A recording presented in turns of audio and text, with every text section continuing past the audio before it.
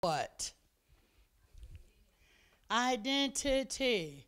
Our true identity in Christ. It is so important that we know who we are in Christ Jesus, uh, what's been given to us. Because if you don't know who you are, then you don't know what you are. We're powerful, we're anointed of God, uh, we've been placed into um, the sonship, into sonship. We've been given power and authority and anointing. Amen. And so we just we just thank God for all that He is, all He's done, every way He's made, and we just truly bless the name of the Lord.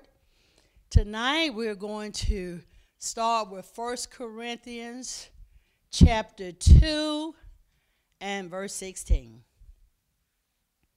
1 Corinthians chapter 2 and verse 16. Praise you, sweet Lord. Hallelujah. Everybody got your sword, got your word, you ready tonight? amen. Amen. 1 Corinthians 2, verse 16, and we're going to read it together. Amen. Ready? Ready?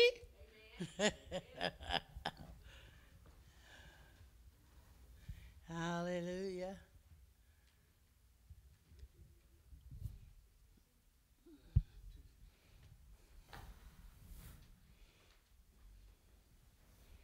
First Corinthians 2, verse 16. Let's read together. For who have known the mind of the Lord that he may instruct him? But we have the mind of Christ. My goodness, we have the mind of Christ. And so it's just letting you know tonight, you know, we, we yesterday at Healing School we talked about tradition and how tradition affects your ability to receive healing. And tradition, you know, believing things that are not scripturally based or scripturally sound will hinder um, you being able to receive from God because it places doubt. Uh, and so faith comes by hearing and hearing by the word. So if you don't know what the word of God says and you're just simply repeating what you've heard someone else say, then there, there's, there's no basis for your faith. Because our faith is on the word of God and the word of God only. Amen. Amen. The word of God only. Faith comes only one way. And that's by hearing and hearing the word of God. Amen. The God kind of faith comes by hearing. And he says in 1 Corinthians 2, verse 16, he says, For who have known the mind of the Lord, that he may instruct him that we have, but we have the mind of Christ. And a lot of people will say, Well, you never know what God's going to do. Uh, you can't understand the Lord. But God says we have the mind of Christ and that God will show us. I have the Living Bible, and it says, How could they? For who can know what the Lord is thinking? Who can give him counsel? But we can understand these things, for we have the mind of Christ. We can do something with the way we think. We can control our thoughts. Amen. We can control our thoughts. Thoughts come, but you don't have to let those thoughts dominate you.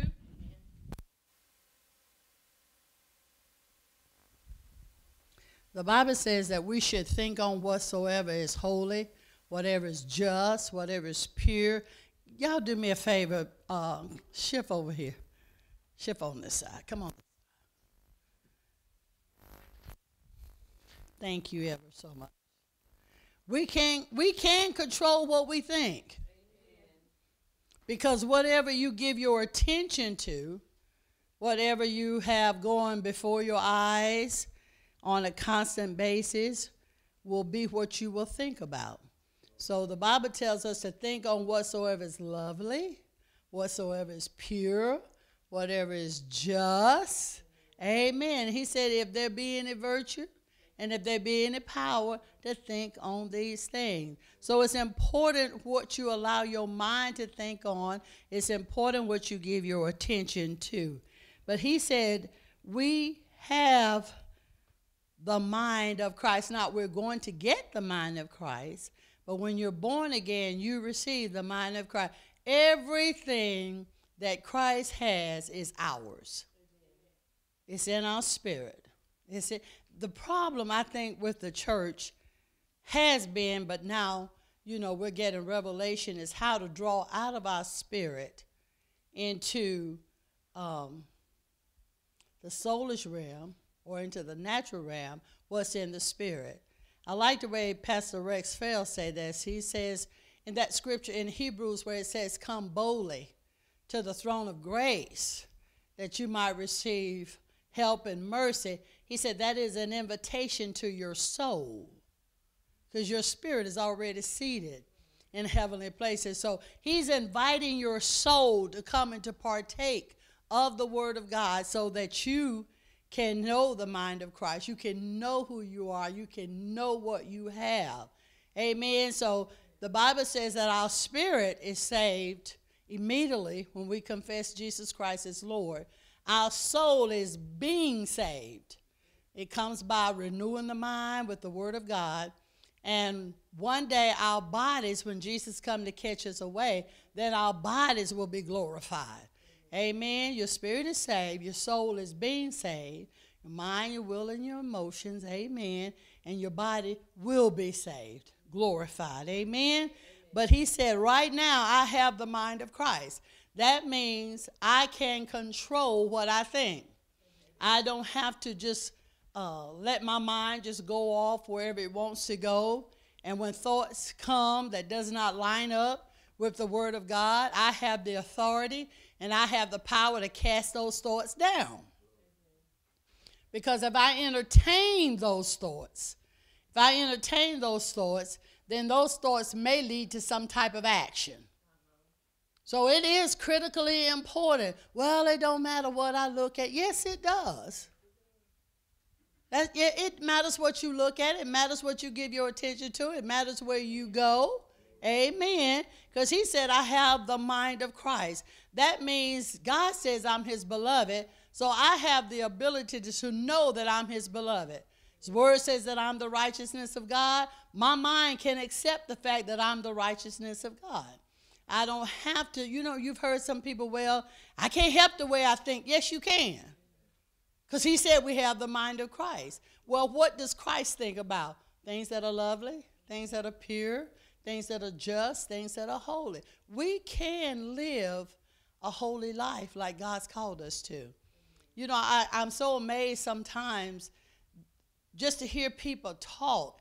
And it's almost like God dropped us down here in this earth and left us completely defenseless against the enemy. That is just simply not true.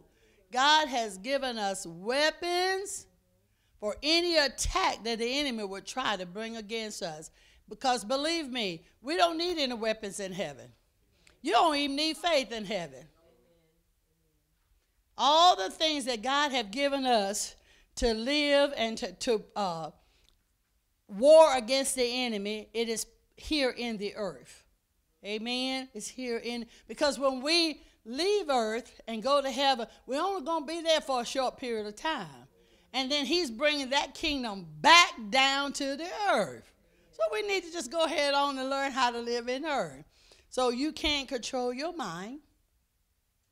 You can't control what you think because what you feed is what will grow. Amen. Well, you know, and some people they they look at a lot of uh, things that are so perverted, and then they wonder why their thoughts are perverted.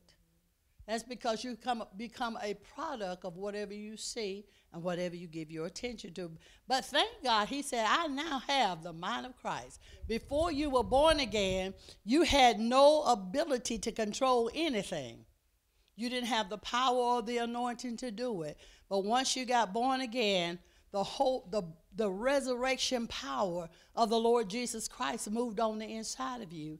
The same spirit, the same Holy Ghost that gave Jesus the ability to obey his Father to the fullest while he was on earth, that's the same Holy Ghost as in you.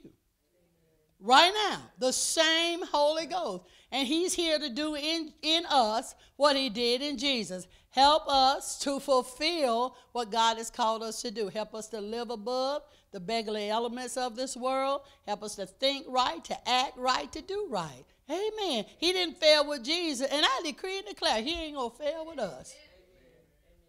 Same Holy Ghost. Same Holy Ghost. Same power.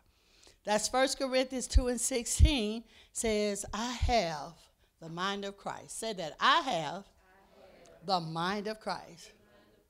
See, I'm not going to ask you to talk to your neighbor. You need to talk to yourself.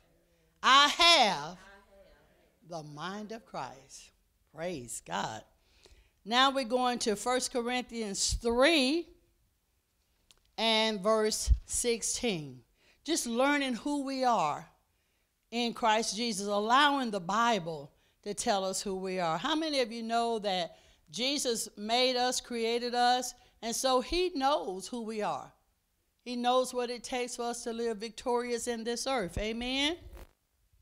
1 Corinthians 3, verse 16. Everybody have it? Let's see, I got the living as well. We're going to read it together. You got ready? Everybody ready? Okay. Come on, talk to me. Talk to me. I need some kind of response. I need some kind of feedback. Let's go. Know ye not that you are the temple of God, and that the Spirit of God dwelleth in you? Wow. Know ye not that you are the temple of God, and that the Spirit of God dwelleth in you. Now, that Spirit is the Holy Spirit. Holy Spirit dwelleth in you. My Living Bible says, Don't you realize that all of you together are the temple of God and that the Spirit of God lives in you?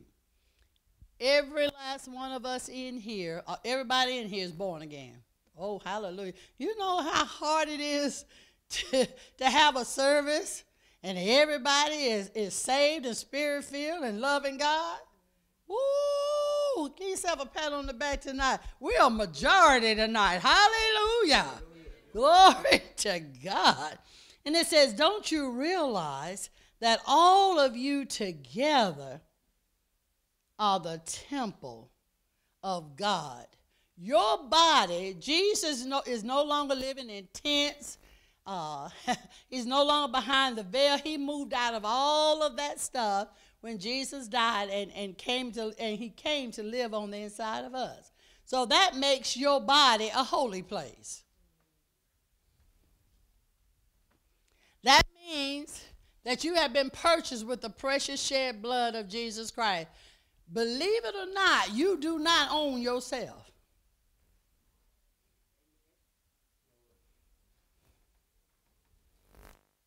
Selah. You do not own yourself. As the temple of God, when we come to a realization of who's living on the inside of us, you know how it is sometimes uh, you have a great deal of respect for someone. And have you ever heard had somebody in your presence and they say something or use some profanity or use a word and they say, oh, I'm sorry, excuse me. You know, that what they're saying is, I, I respect you too much to say that in your presence. Well, we're carrying somebody holier than that on the inside of us. And when we do realize that the Holy Ghost Himself lives on the inside of us, it will change the things that we do with His body.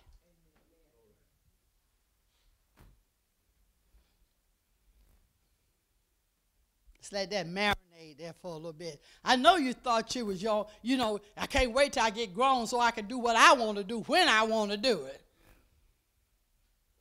Your body is the temple. It's the dwelling place of the Holy Spirit. It's where he's working from. It's where he's representing who God is and what all God did for us. You are on display. Your body is where he's living. That's why when your spirit leaves out, when your spirit leave your body, it falls to the ground. That temple no longer is usable for God. It just falls to the ground. Amen. But your body, your body is a temple of the Holy Ghost. So we need to ask God when we start doing stuff, and I say we, we need to ask God, is this pleasing to you? Is this something you would have me to do? Because after all, this is your body. We need to ask him what to put in it, what not to put in it. And when he tell us, don't eat that, don't drink that, don't, don't whatever you're doing. And he said, you know, and I, I'm, I'm putting me right in it. When we get a realization that we don't own ourselves and that we're going to have to give an account of our stewardship, we're in management. And God is expecting us to watch over his house with the greatest of care, take care of it, you know, so he can live in it. And he wants to live a long time in it. He don't want you cutting him short in her. He wants to live a long time in you because he wants to spread this glorious gospel of the Lord Jesus Christ. Amen. And it says, No, don't you realize that all of you, it's amazing. Every last one of us in here tonight are the temple of the living God. Let's think about that. We're all the temple. He's living in you, Stefan. He's living in you, Laura. He's in you, Machavia. He's in you, Ma Eric. He's in you, Tip. Everybody in the room. You're God's habitation. The Holy Ghost Himself. You are a carrier. You are a carrier tonight. Now, when we begin to practice the presence of God and realize that, that He's on the inside of us and we don't want to do anything to grieve Him, it will change how you live. It will change what you do. It will change where you go. It will change what you look at. It will change what you entertain. Glory to God. Hallelujah.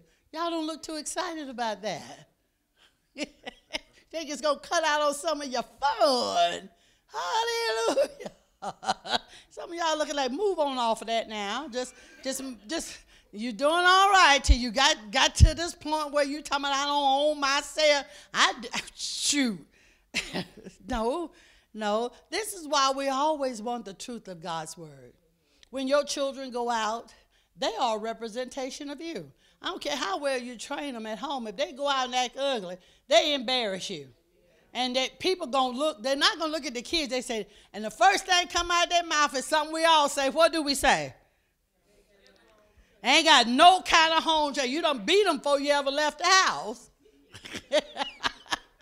and they look at the kids and they, they look at the parent and they say they must not be or whatever. So we don't want the world looking at us and we say that we're born again believers and they can't tell the difference from us and the world. We say what they say. We live like they do. We engage in what they engage. Oh yeah, it's, it's it may cost you some lonely time. Cause folk that ain't sold out to God, that you ain't gonna have to worry about running them off. They just ain't gonna come around. Praise God, trying to choke me out, but it ain't gonna happen.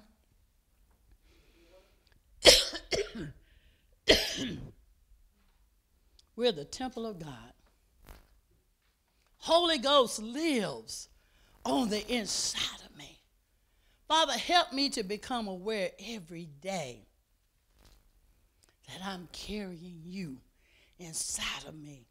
And everything that I do, I make you a part of it. Whew. You don't think that would change some of the things you do? And I'm telling you, it's not a bad thing to have the King of glory himself living on the inside of you. Because he's not a don't God, he's a do God. Gives you wisdom, knowledge, understanding, and power. And I mean, he'll make you smarter than the world. Amen. So when you realize that I'm carrying the anointing, I'm carrying the Holy Ghost Himself, I am the temple of God. His Spirit lives in me. Say that I am, I am. a temple of God. Thank you, sweetheart. Thank you.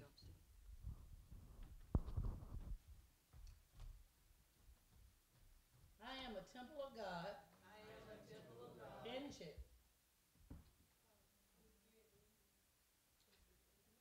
Mm-hmm, page.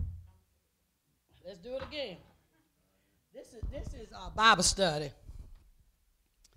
Let's say it again.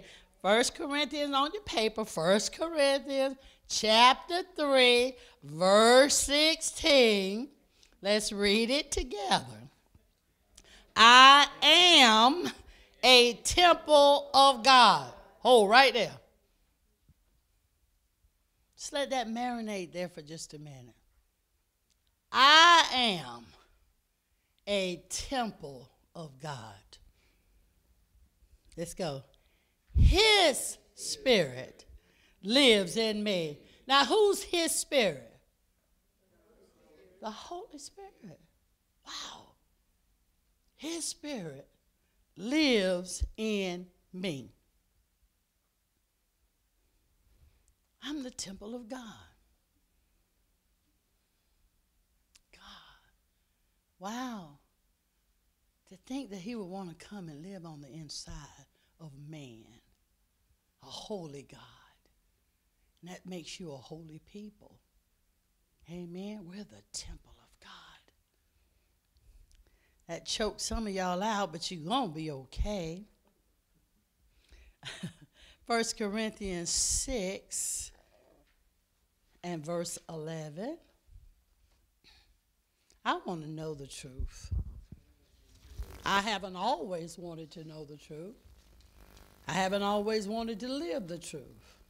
But now that I'm realizing what a great profit and advantage it is to live it, and as you get older, as you get older, it, it makes a difference.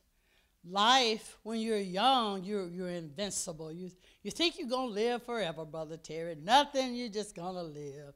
And once you started aging gracefully, amen, and have some bumps and bruises and get knocked down a few times, life begins to take on a different meaning. Amen.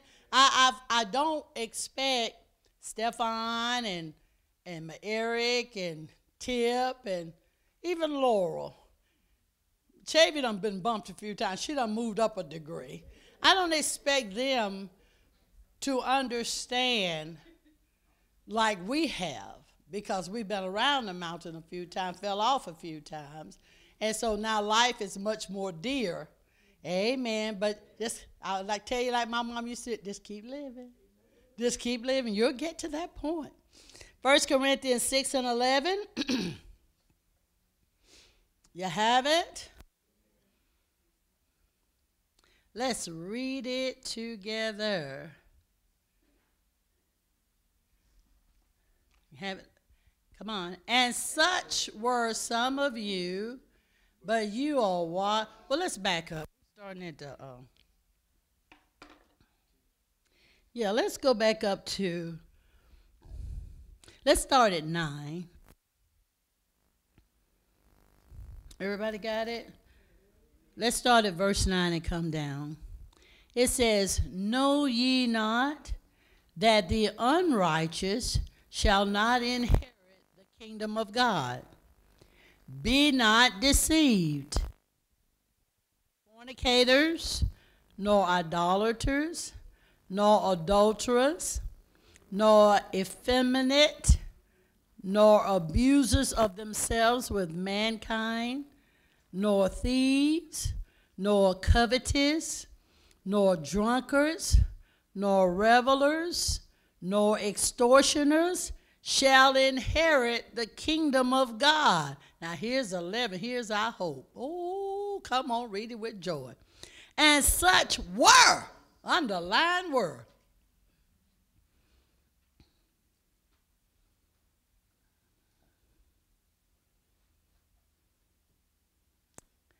Come on. And such were some of you. But you are washed, but you are sanctified, but you are justified in the name of the Lord Jesus and by the Spirit of God. He said, now these up here, he's talking about this is how you were before you became a born again believer. But now you've been washed in the blood. Now you've been cleansed. Now you've been sanctified. Now you've been set apart. Amen. And it's just as if this lifestyle never ever happened in your life. Oh, happy day. Oh, happy day. Let's see what the Living Bible says. It says, Don't you know, verse 9, that those who do wrong will have no share in the kingdom of God? Don't fool yourselves. Those who indulge in sexual sin, who are idol worshippers, adulterers, male prostitutes, homosexuals, thieves, greedy people, drunkards, abusers, and swindlers, none of these will have a share in the kingdom of God. There was a time when some of you were just like that, but now your sins have been washed away and you have been set apart for God. You have been made right with God because of what the Lord Jesus Christ and the Spirit of our God have done for you. In that, oh, y'all need to smile. All that past life is over and gone. Now, there's a difference in the kingdom of God and the kingdom of heaven. Kingdom of heaven is where the throne of God is. The kingdom of God is God's way of doing and being right, of living in, in liberty and joy. You can't partake. You know, you can't live a happy life when you know you're doing things dishonorably. You know, if you're a thief, you're always looking over your shoulder, you know, thinking somebody's going to catch you and anything. But now, since we have the mind of Christ, and now since we're the temple of the Holy Ghost, now we've been washed, now we've been cleansed, now we've been sanctified, now we've been set apart, and now we can participate fully because of the precious Holy Ghost that's living on the inside of us. Thank God for grace. That's, that's the gospel. That's the good news. He didn't leave you in that state. Hallelujah. And he's already dealt with the sin problem.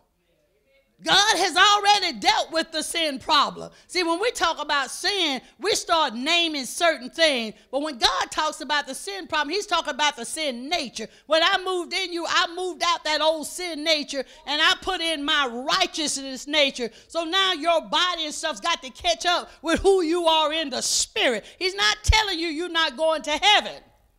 It's not what he's telling you. You cannot fully enjoy being a believer doing things that you know go against the word of the living God.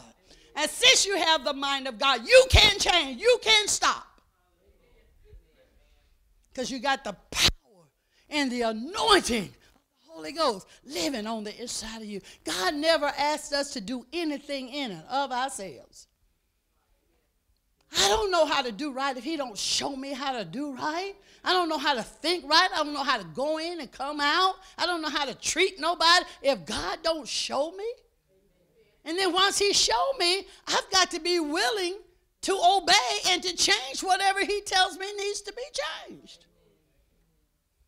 And since he bought me with his own precious blood, then he has a right to tell me what to do because his thoughts toward me are thoughts of good and not of evil.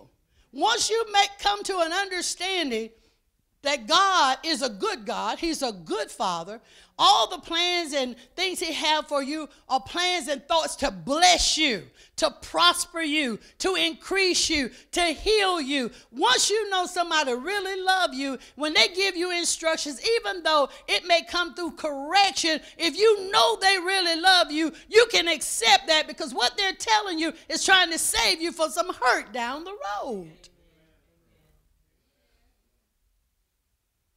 That's why you got to know you're a son of God.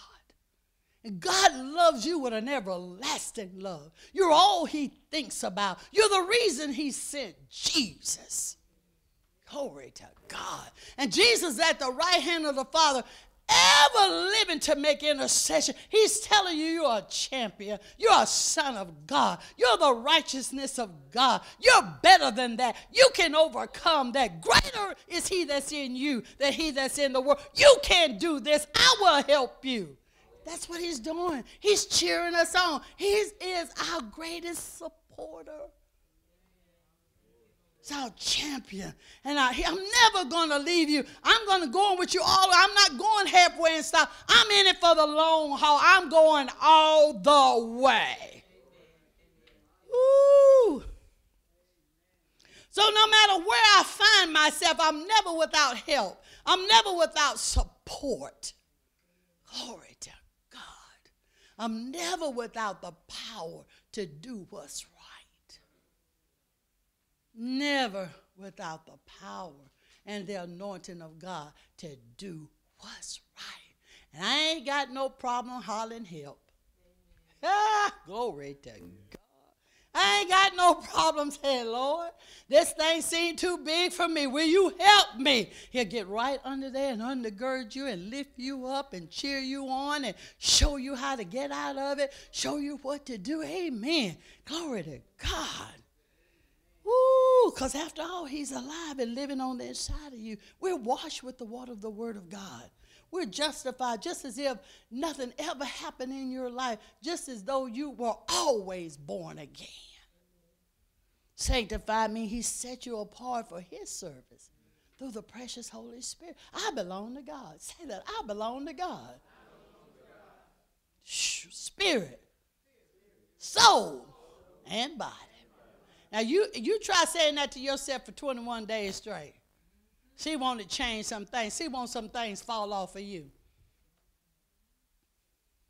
Let me say us so y'all won't think I'm pointing the finger. She wants some things fall off of us because it will. Ooh, y'all happy about that? Ooh, 1 Corinthians 6 and 19 is just like 1 Corinthians 3 and 16, but we'll go ahead and look at it since it's on the page. See, we're already in 6, aren't we? Let's run on down here to 19 and see. Oh, praise God, see what it says. How many of y'all want to know the truth? How many of you know that there's a much greater and better life that God has for us than what we're living? Hallelujah. And I want God to show me how to get there. Hallelujah. He has the plans and He knows what I need to do, where I need to be. Amen. The love He has for me. I trust the love that God has for me. And I, have done nothing. First Corinthians chapter 6 and verse 19. Let's read it together. What? That's a question mark. What? You know, like somebody would say something to you, what? They make statements, you're like, what? Come on. Know ye not that your body is the temple of the Holy Ghost, which is in you, which you have of God, and you. Y'all thought I was just saying that, didn't you? I got that from God. you are not your own. Verse 20. For you are bought with a price. Therefore, glorify God in your body and in your spirit, which are God's. Oh, just let see what the Living Bible says. Run away from sexual sin. Ooh, no other sin so clearly affects the body as this one does. For sexual immorality is a sin against your own body. Oh, you're sinning against the very body of God. Or don't you know that your body is the temple of the Holy Spirit who lives in you and was given to you by God? You do not belong to yourself. Can't get much plainer than that, can you? you do not belong belong to yourself. For God bought you with a high price. Ooh. So you must honor God with your body. God paid the very best He had for you, His very own Son, Jesus. Can you imagine what your price is? What, what your value is to God? He gave you the very best heaven had to purchase you. And you know, with us just being out realm, you ain't gonna pay the same amount of money for a zirconium that you'll pay for a diamond. That wouldn't be smart, would it? You're not going to pay for that. If you go to a car lot and you buy a car and you go to drive out and they say, We ain't going to give you no steering wheel, you say, Wait a minute. Uh, w- wait a minute. I got to have my steering wheel. They said, Well, okay, we give you a steering wheel, but we give you no time. Wait, look here. I bought the whole car. I want the steering wheel. I want the tires. I want the windshield, the wipers. I want the seats, the seat. In other words, I want every. Oh, shake it up, boo. I want everything I paid for. this I purchased you. I bought you, and I want money. I want. I want back on my investment. And see, what is so beautiful about it is that he said, I'm going to send the Holy Ghost and put him on the inside of you to help your value stay up there. And then I'm going to show you how to do it. And I'm going to help you with what you can't do. You can't get no better deal than that. My God. That's like buying a car and they tell you, we're going to pay your insurance. We're going to pay uh, for all the service on your car. All you got to do is drive it. Woo! That's what God said. All you need to do is just drive it. Just get in and let me drive it over here. Let me drive it over. Now, if I tell you don't go down that street, don't argue with me. Don't go down that street. All you gotta do is just ride and drive. Cut the air on when it's when it's hot. Cut the heat on when it's cold. You ain't gotta worry about the upkeep or anything. I'm taking care of all that. He said, I bought you. So since he paid such an awesome price for us, does he not have the right? Since you bought that car, I can't go out there. I don't know what Deacon Terry and them riding in the night. They got some nice ride. I can't go out there and tell them what to do. I don't care what they ride. I don't have the right. He owns that truck or they own that car. I don't have no right to tell him. Well, in the same manner, how do you get on telling God what he needs to do with his body?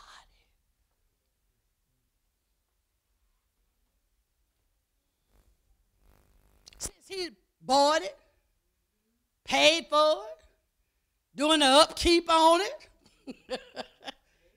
Something to think about, isn't it? Hmm. Well, I tell you what, God, I, I just really, uh, I just don't, I just ain't feeling it. He said, Well, I wasn't feeling going to the cross. That's why I struggled in the garden. And my sweat looked like drops of blood. But I had to bring my soul to what my spirit knew had to be done to bring y'all back to the family of God. I knew how much my daddy wanted y'all back into the place you were before the fall. And my love was so great for him, I went past my feelings.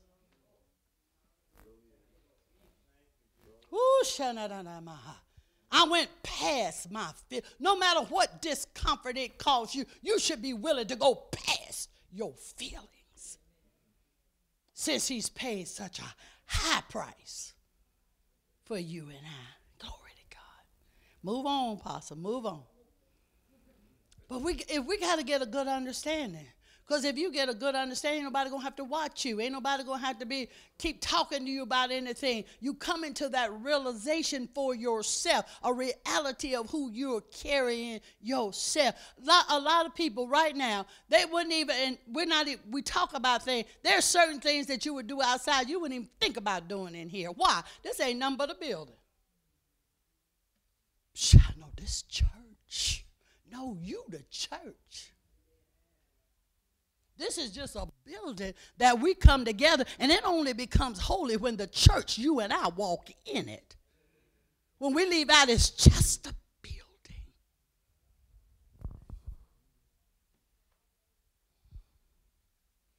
Y'all getting the watered down version. I got the pure raw earlier.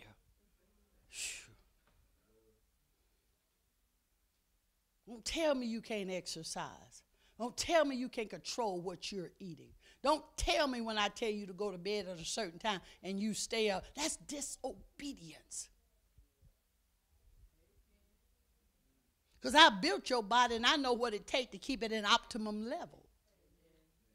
You break it down and you bring it to me and I fix it up and you go back and do the same old crazy stuff again and it breaks down again and then you then you got the audacity to say, I don't know why God won't heal me.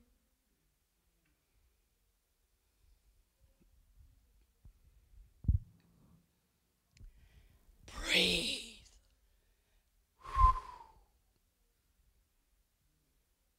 Amen. When we come to this realization and this reality, it will literally change your life, will change my life. He said, Don't even talk to me about no diet. He said, just take it a day at a time. Trust me for every meal. I'll tell you what to put in your mouth, and I'll tell you what not to eat. Then I'll help you. So I'm without excuse. I'm without excuse. Guess what? Come on. Come on, come on, come on. If I'm not without excuse, come on, come on, come on. Thank you.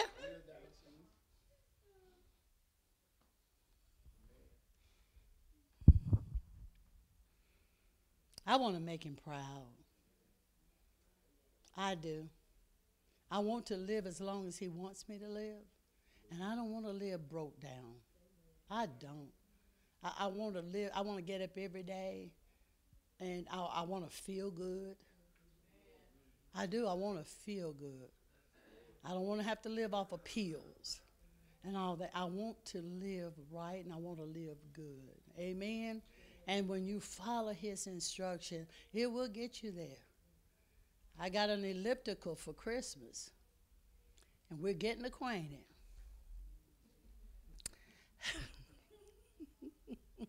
he said, You asked me for one. I'm sitting there the other, and I said, I don't mind telling on me. Thank God I'm not the finished work. I, ain't gonna never tell nobody I got it all together because I, I am under construction. I'm being processed and groomed. Amen. But I'm willing.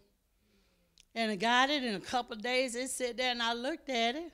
and I'm just sitting there. He said, uh, Didn't you ask me for that? I said, Yes, sir.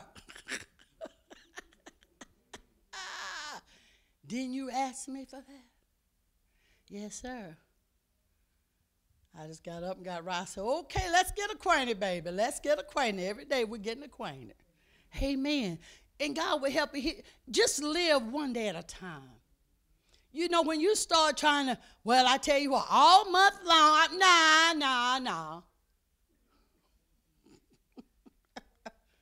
Today, Lord, He said His grace is sufficient for that day. See, some of us, you'll get overwhelmed when you try this. Like, now I tell you what, you got people right now, I'm not talking about them, God knows I'm not. They've been fasting for, they fast for the first 21 days. I'm off of sugar. I'm not eating meat. After them 21 days old, every cow by the head for the heels. And see, God doesn't want us doing that every day and, and it's eating with me. Um, I don't know. I don't know what yours is. But they trust God to give you instructions. That, his grace is sufficient that day. When I get up in the morning for breakfast, ask God, what should I eat for breakfast? Then when it comes lunch, what should I eat for lunch? See, I don't need to be worrying about what I'm going to eat Friday. Today is just Wednesday. Because see how you can get overwhelmed? You, you, you start, you know, an elephant, you just one bite at a time. A mountain, you just one step at a time. But when you, when you try to, uh, you know, if you can't jump three feet, how you tell God you're going to jump 20? You hadn't jumped three yet. And just take it a day at a time. And even if you perhaps don't make it, don't get under condemnation. Just get up and let's keep going. Just get up and let's try it again. Just get up, just keep getting up. The thing is to keep getting up. The thing is to keep doing it. The thing is to keep staying it. It will pay off. I, am here to tell you because God don't lie. His word will produce whatever He sent it to produce. We just got to get an agreement and believe it. Just because it's already so. Amen. Ooh, we got all that out. of I'm a temple of God. Let's go on your page. It has Second Corinthians 12 and 27, but there is no 27th verse in Second Corinthians. It's First Corinthians. See why it's important? You know, anybody can. No, now they didn't deliberately misprint this. It's just a mistake. That's why you need to carry your Bibles. You need to have your own Bibles. You need to follow. When I give scripture, you need to follow. I just appreciate James so last year. He says, Apostle, you skip one. Amen. Hallelujah. 1 Corinthians 12, verse 27.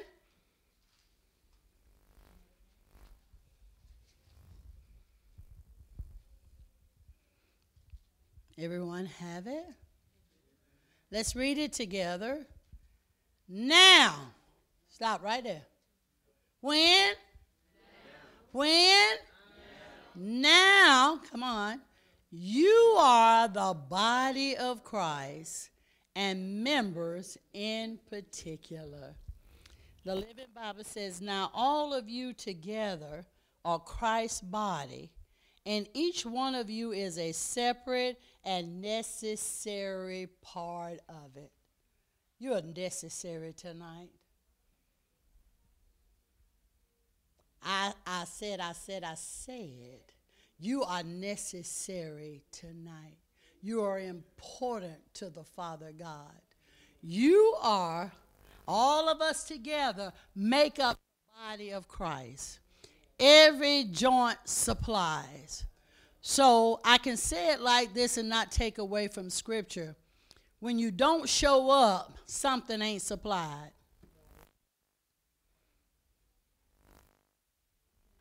Have you ever thought about it? Think about a football team. Say you're the quarterback. You got a big game. Everybody there but you. You think something's going to not be supplied, something's not going to be missing. I know they have others that get stepped, but you the main quarterback. You you the one that team counting on. Well, each one of you, God's counting on. All of you quarterback status.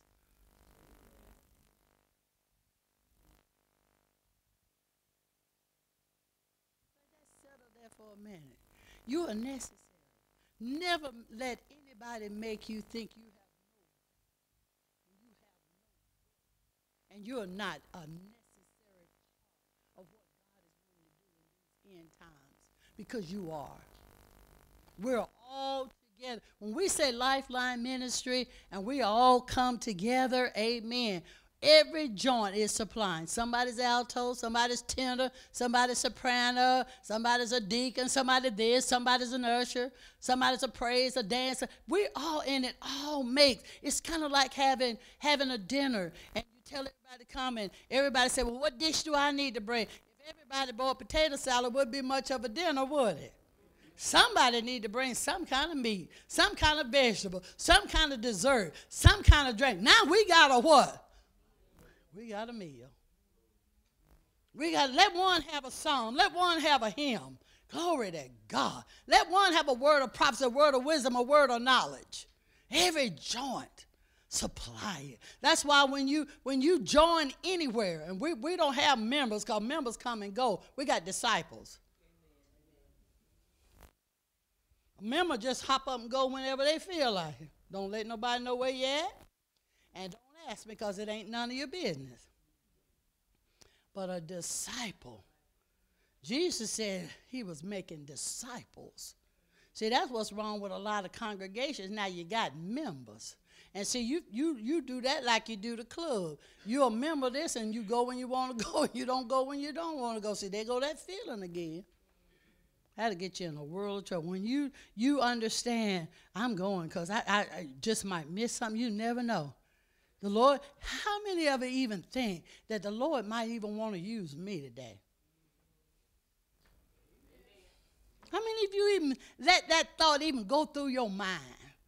That the Lord might want, you may be sitting there, and, and Tip, you might be sitting there, and, and Eric might be struggling with something. He'll say, Tiffany, because you're part of the body and you're necessary. He said, Tiffany, go over there and put your arms around my Eric and just tell her you love her. Ask her what's wrong.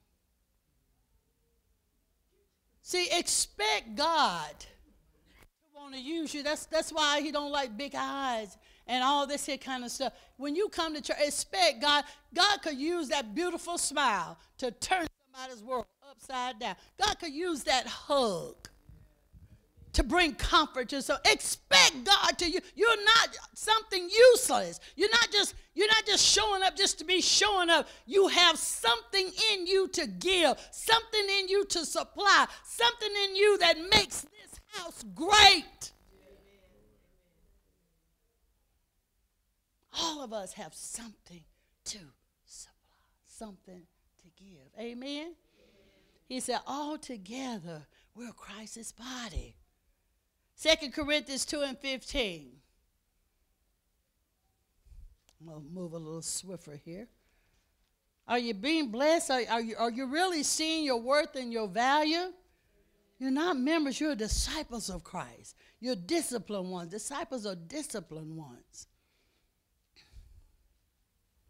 Second Corinthians 2 and 15.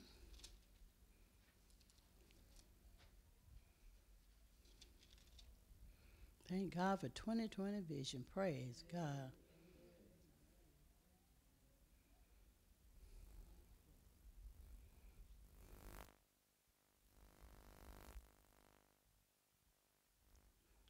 Well, bless the Lord.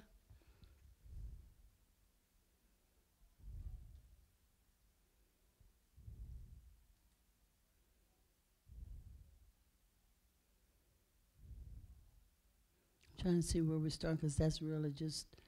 Um,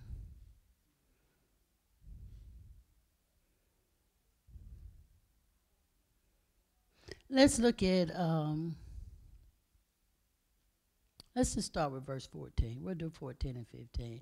Might be enough to pull us where we need to be. You have it?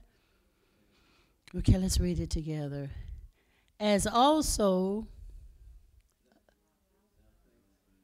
Beg pardon? Where I am?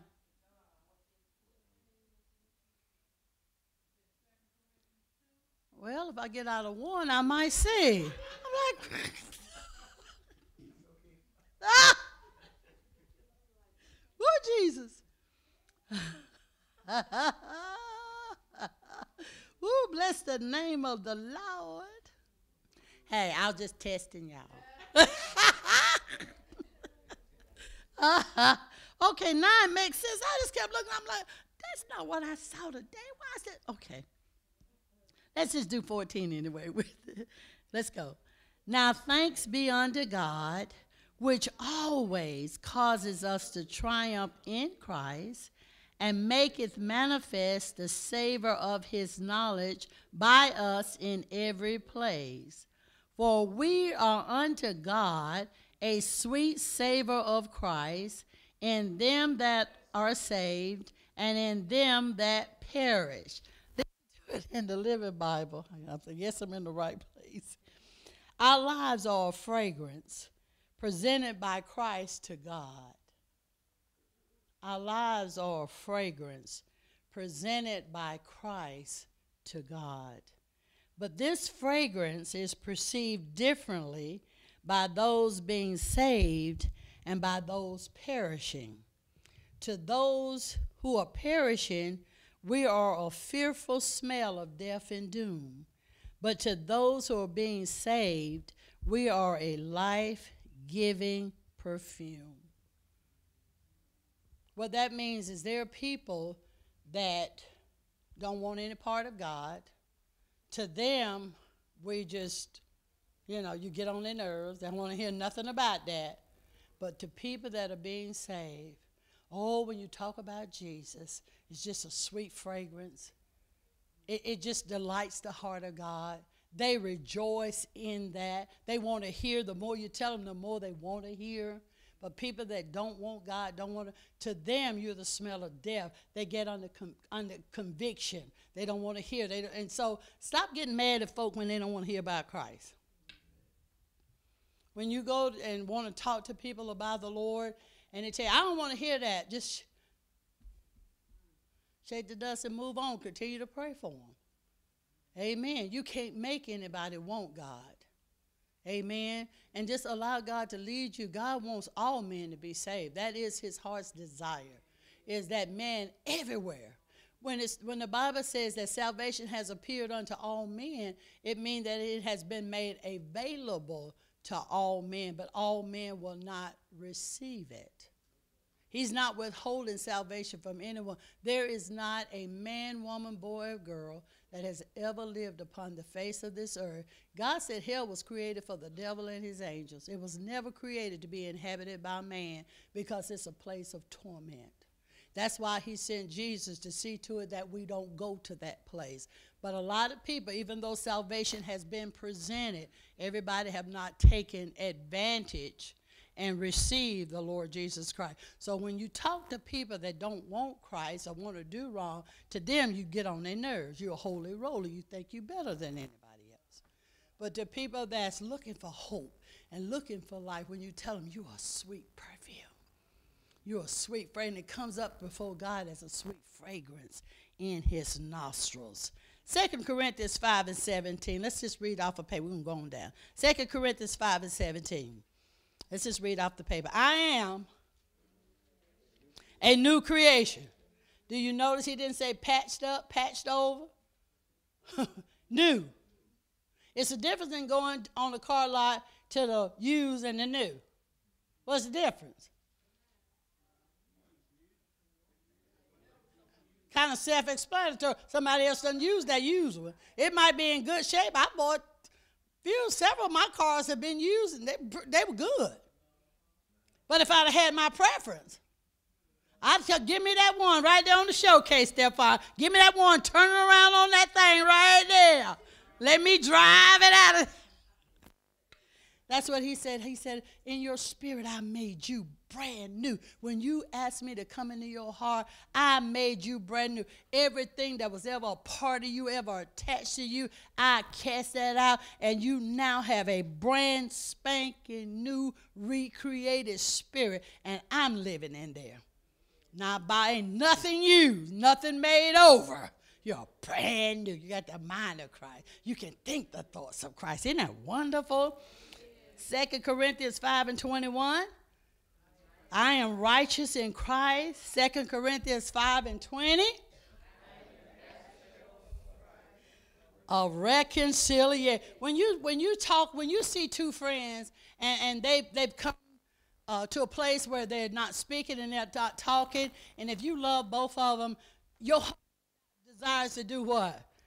Put them back together. That's reconciliation. That's what Jesus did. He came and reconciled us back to the Father. He said, I know they've messed up. He said, but let me die in their place. Let me take the full brunt of that because I want them. I know you want them back. So let me reconcile. Let me be the bridge that they can cross back over to you. That's reconciliation. And as an ambassador, that means you have been sent from one place to another place to represent where you were sent from. And since we're ambassadors of God and we have been deployed from the kingdom of God, we have no personal opinions about it. It's already written in our Constitution. We are to merely carry out what's written in the Constitution. It don't matter what I think about anything. Does it agree with the Word of God? As an ambassador, if I do not say what God tells me to say, I can be recalled. There are a lot of folk out here speaking for God and they've been recalled. They driving without a license. They're not saying what God say. They've changed law. Did y'all hear about the Methodist Church getting ready to split?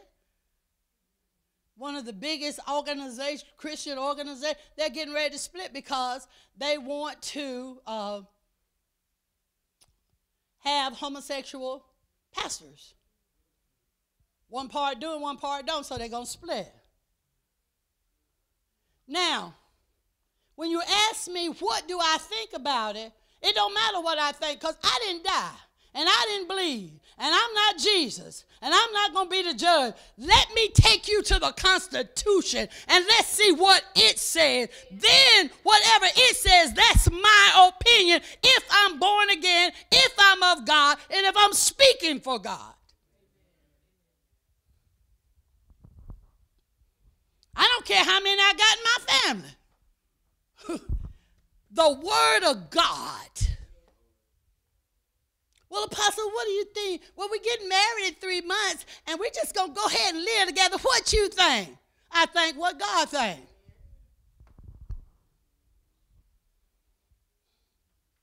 Well, you know, they did me wrong. And so uh, I think I ought to get them back. What you think? Go Constitution. See, when you start taking people to the word, stop being so free with what you think and what you think don't agree with what's been said. The law's already on the books. It's already written. And God's not going to change it for you, me, or anybody else. That's if you are an ambassador. I don't want to be recalled.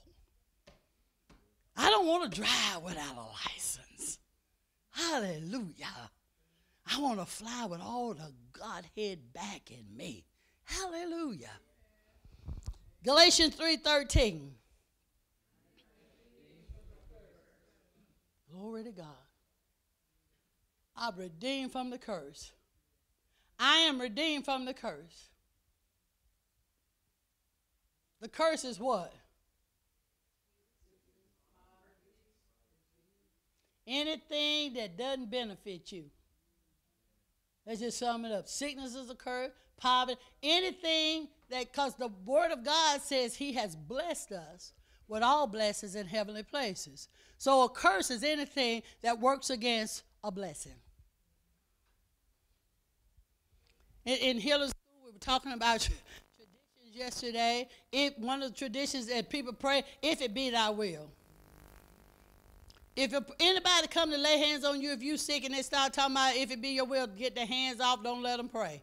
Because that lets you know they don't know what will of God is. There ain't no faith present, ain't nothing going to happen. You ain't even ready to pray till you know what the Word of God says. And then you return that word and that word only back to God. And that's when faith is present. That's when the Holy Ghost goes to work to see to it that the word of God comes to pass. Your word will come to pass when it's what God has said.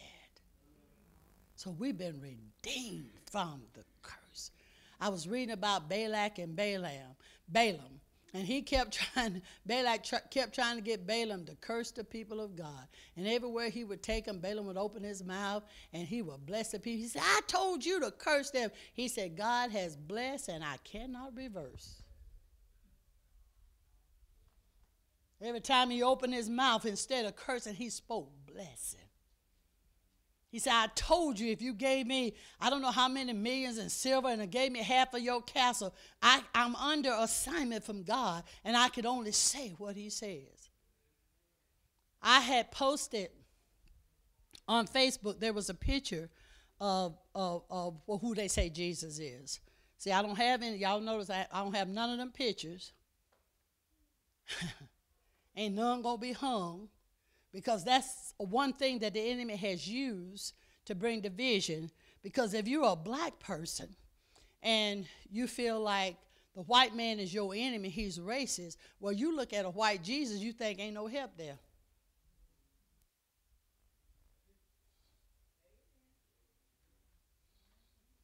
That's why he said, No, no man after the flesh. I want to see Jesus in the Word, His Spirit. I don't care if he polka dot. it really don't matter to me. It truly doesn't matter to me. And so the enemy will use all this stuff, anything he can use to bring division. Anything. We were laughing and talking this afternoon, and uh, this pastor told me, he said, You know what? He said, God's given you such an awesome platform in healing school. He said, You're bringing all races, ministries together. He said, What an awesome platform. He said, I can say this, and I know you won't get offended. He bringing a black woman. You know, God don't use no women to preach. a divorced woman. Whew, that's three strikes right there. So the world says.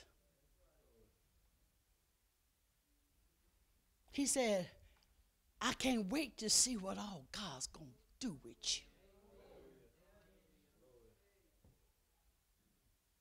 Woo! Hallelujah. we've been redeemed from the curse, y'all. I said we've been redeemed from the curse. And you shouldn't accept anything from the curse operating in your life. That's the next one, Ephesians 1 and 1. Oh my God. That'll get you thrown out of half the churches. Because we think of a saint as being a person that never make any mistakes. You're a saint in your spirit. You're a saint because he says you're a saint. See, a lot of times we're basing uh, whether we're holy or not on our actions. You're holy because the Holy One lives on the inside of you. Amen. Your body has to catch up. Your mind is being reprogrammed to think a different way. Once you get saved, before you were saved, we thought like everybody else. Let me get you before you get me. All that kind of, those are natural carnal thinking. But once you get born again, then that mind, I told you that was an invitation to the soul to come and to be reprogrammed, to have new data put in you, to have the mind of Christ put in you. That takes time.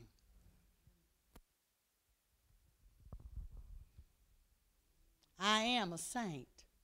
Say it again. I am a saint. Child, I can't say I'm no saint. Girl, I, I got problems. And I, I, and you know why it's true? Look at, let's go to Ephesians 1. Do you know why it's true? Anybody know why it's true?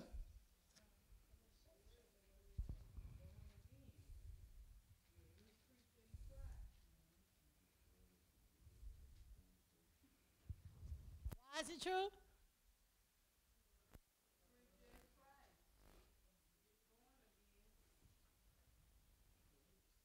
Okay, let's look at Ephesians 1. Read Paul, an apostle of Jesus Christ, by the will of God, to the saints which are at Ephesus, and to the faithful in Christ Jesus. Everything, and none of those answers was wrong. Everything that we are is true because he said so.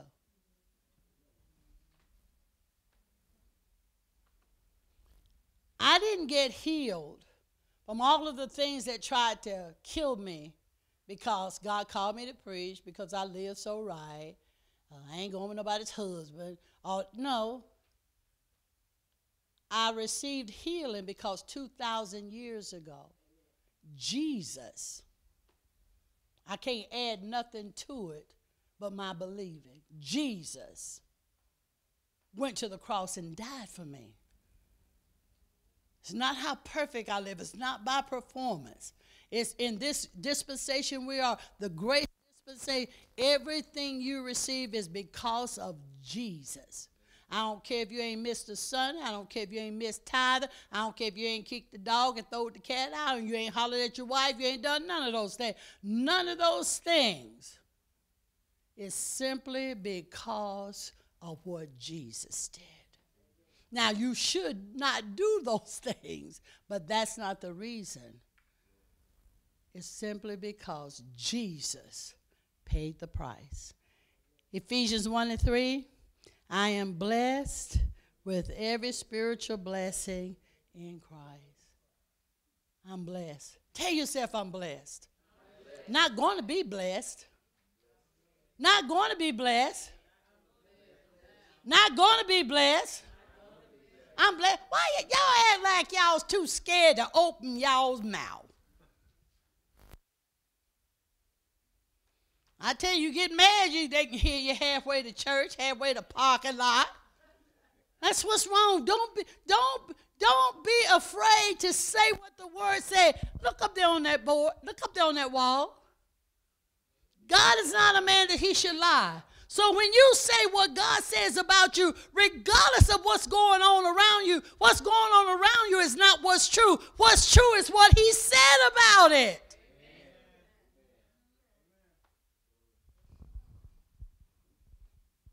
I'm not up here the apostle of this house because I'm the smartest knife in the drawer or the sharpest. I'm here because he set me here.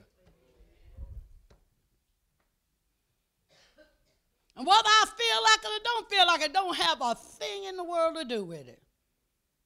I'm simply carrying out the orders of my commander in chief. Hallelujah. Glory to God. So your rest is tied to your identity. Your rest, my rest, is tied to my identity. I'm a son of God. I'm a son of God. God will never hurt me. God will never hurt me. God will never hurt me. Somebody should say, Me either. God will never hurt me. Amen. God want me for joy. God want me increasing in every area of my life. Glory to God. God wants my marriage to be like heaven on earth. God wants my career to be successful, me to be at the top of my game. Glory to God. That's what God wants. And if He wants it and I want it, glory to God, ain't nothing for it to happen, be but to happen. Don't be hesitant. Open your mouth. Devil wake you up at night and tell you I'm gonna kill you. Just start laughing. Just start laughing. Just start laughing. Say Jesus took the keys of death, hell, and the grave, and guess who he gave authority to? Wah. You have no authority here in the name of Jesus. Get out. Glory to God. Your true identity in Christ. Well, did you receive tonight? Hallelujah.